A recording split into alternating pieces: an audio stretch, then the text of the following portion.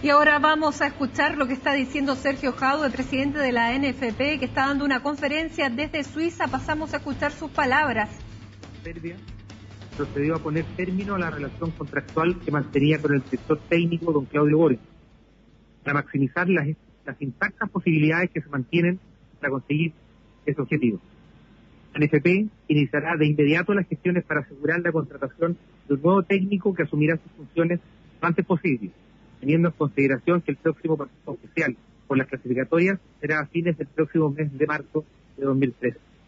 Tenemos la convicción de que Chile cuenta con una generación de jugadores de gran nivel que nos debe llevar a participar en la próxima Copa del Mundo. Nuestro compromiso es seguir trabajando intensamente en lograr este objetivo, y es lo que todo Chile es. ¿Por qué la decisión?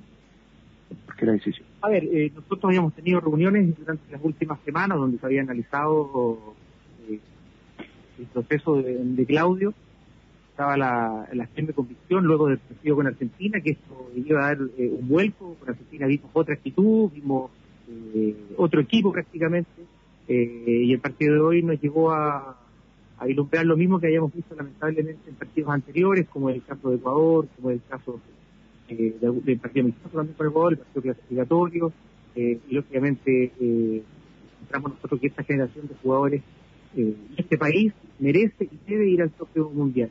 Para ello, eh, es bueno también descomprimir un poco lo que hay, un cambio y que podamos eh, tener un nuevo técnico para poder llegar a, esta instancia eh, importante, que nos queda prácticamente una rueda completa, cuatro partidos de local, estamos con posibilidades intactas de ganar los partidos de, local, podemos clasificar, sin embargo, lamentablemente en cuanto a fútbol, hoy día vimos algunas cosas que no nos gustaron y nuevamente algunos casos de disciplina deportiva que lógicamente no eh, se aparta un poco de lo que quiere pedir esto. ¿De quién es la decisión? ¿De quién es la decisión? Se especuló mucho en este rato, sería bueno que lo aclarara, que se tuvo una discusión con el señor Gómez, que fue muy fuerte, y luego usted ingresa a Marín y de ahí deriva toda la decisión de... No, eso es totalmente falso, está Jorge, pues preguntarle a, a Jorge, yo con mi directorio me he sentido siempre respaldado, el directorio siempre... Eh, eh, ha respetado las decisiones que he tomado y esta decisión eh, le ha tomado con convencimiento y consultada lógicamente eh, con el directorio como, eh, como debe ser. Pero esta es una decisión que tomamos en conjunto y yo soy el presidente, soy el primero en conversarlo con ellos y ellos, así como apoyaron hace un par de semanas atrás, hoy día lo vuelven a hacer. No sé si quiere Jorge aclarar un poco el tema para que quede claro, digamos.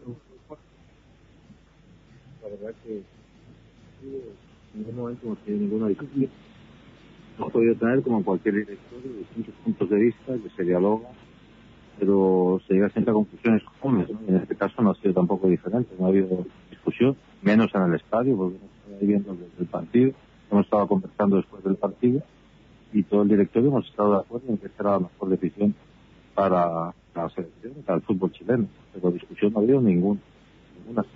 Jorge, aprovechando el momento, ¿tuvo posibilidad de reunirse con Joseph Guardiola? No, yo nunca me he reunido con Guardiola. ¿De dónde ha salido eso? Nunca me he reunido con Guardiola. Pues miento totalmente. Los candidatos, decía, los no deben ser inmediatos, sea el cargo por el escaso tiempo que hay para los próximos partidos. ¿Tienen alternativas también? No, debido al escaso tiempo, eh, es por eso que nosotros tomamos la determinación eh, luego del partido, conversé personalmente con Claudio eh, luego del partido, eh, analizamos eh, muchas cosas, eh, le pedimos que diera un paso al costado, lógicamente tomamos la determinación del término de la relación contractual. candidatos no hay, el partido terminó hace un par de horas atrás, no hemos conversado con ningún técnico, no corresponde, no es nuestro estilo.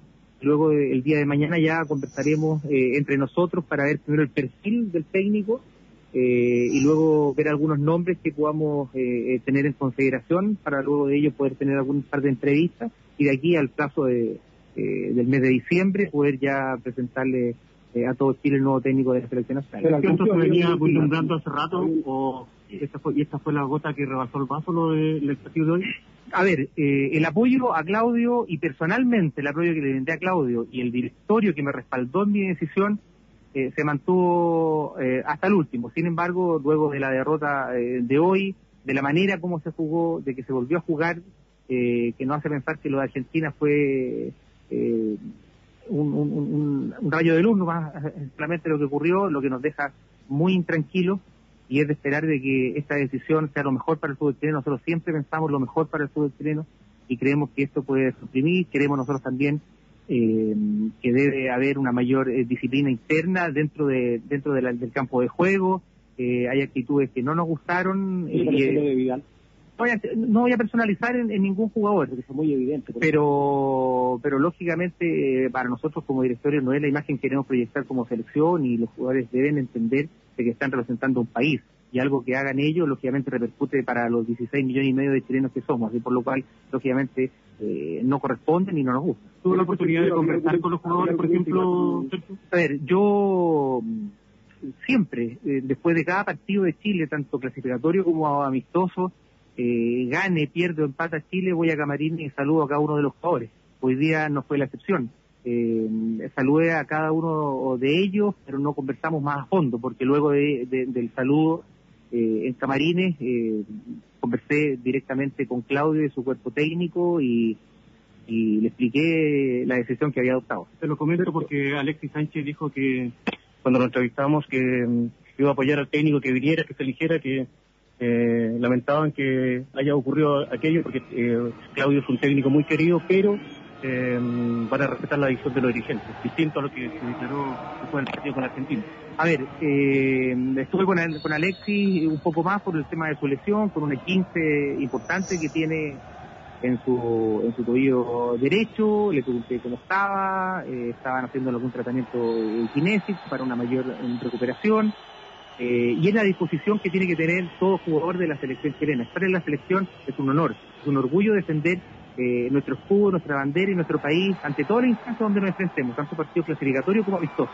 Esta selección eh, no es de un técnico en específico, esta selección no es de un directorio en específico, esta es la selección de todo Chile, por lo cual todos deben estar dispuestos y disponibles y confiamos en que ello va a ocurrir porque se defiende un país, no se defiende una persona. Pero Vidal adelantó hace un lo dijo, si se va a Borghi yo no, no, no vengo a la expresión.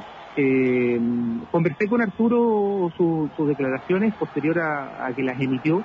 Eh, conversé telefónicamente con él y espero que, que esa actitud sea multiplicada con el tiempo y pueda estar en los próximos partidos eh, amistoso clasificatorio de acuerdo al calendario que programemos eh, con el nuevo técnico de la selección nacional que presentaremos el próximo mes. ¿Había un ultimátum para Claudio Borges en el sentido de no más Ultimátum me preguntan por los de la indisciplina, como lo de hoy día. No, eh, no eh, ultimátum como tal no hubo, lo que sí hubo es preocupación. El directorio le mostró preocupación en la última reunión eh, que sostuvimos algunas, algunos hechos, algunos actos que se estaban desarrollando, digamos, durante los partidos clasificatorios y algunos partidos amistosos. Dentro de ello el tema eh, de la disciplina deportiva. Eh, es imposible que un equipo que quiera lograr algo importante no termine con 11 jugadores todos los partidos. En este caso a Chile le ha pasado, tanto partidos clasificatorios como partidos amistosos y hay situaciones que deben controlar y la responsabilidad de eso primero parte por los jugadores y luego también por el cuerpo técnico. Lamentablemente en este partido nuevamente sufrimos eh, expulsiones, eh, nuevamente sufrimos algunas cosas que no nos gustaron lógicamente queremos que dejen de ocurrir y, que la selección chilena nuevamente entregue la alegría que se requiere a todo un país y para ello eh, todos los esfuerzos de este directorio van a estar eh, en la dirección de encontrar eh, un técnico eh, como Chile eh, lo requiere para que se recupere la alegría del, del, triunfo que hace bastante tiempo no tenemos. ¿No creo que se pudo tomar antes la tomar antes la decisión, Sergio? A ver, siempre las decisiones pueden haber sido adoptadas antes o no. Hay oportunidades en las cuales se otorga. Sin embargo, nosotros creíamos firmemente que luego de lo visto en el partido de Argentina, con una con otra actitud como se demostró, con otro juego, con otro punto de juego eh, eh, muy rico para nosotros, particularmente en el primer tiempo, eh, es lógico que ese directorio haya pensado de que podíamos enmendar el rumbo. Sin embargo, en el partido de hoy nos dimos cuenta que lamentablemente no fue así, estamos a tiempo para poder en estos próximos partidos clasificatorios que queden eh, particularmente de local, lograr de nuestra creación. ¿Qué candidato no hay? ¿Hay algún perfil esbozado? No, eh, a ver, aquí tendría que hablar individualmente porque no lo hemos conversado. Candidatos no hay, ninguno, y no se ha conversado con ninguno. Acaba de Jorge Segovia, eh, desde mentir que ha tenido alguna reunión, ni siquiera por el plano profesional ni personal, eh, con un técnico en cuestión. sin embargo, nosotros tenemos que definir el perfil, nos vamos a reunir hoy, nos vamos a reunir eh, mañana para ordenar el perfil, después ver los técnicos que calcen de este perfil y poder salir a conversar eh, con ellos, ojalá entrevistarnos con ellos para luego tomar la mejor decisión. Y cuando sea tomada, lógicamente, de manera inmediata, va a ser comunicada a la prensa para que la divulgue a todo el país. No, yo, yo más que hablar de nombres, eh, prefiero primero definir el perfil. ¿Cuál es el perfil? ¿Ah? ¿Cuál es el perfil? Acabo, acabo de señalar que, no lo hemos discutido como directorio, solamente podría eh, hablar para mí.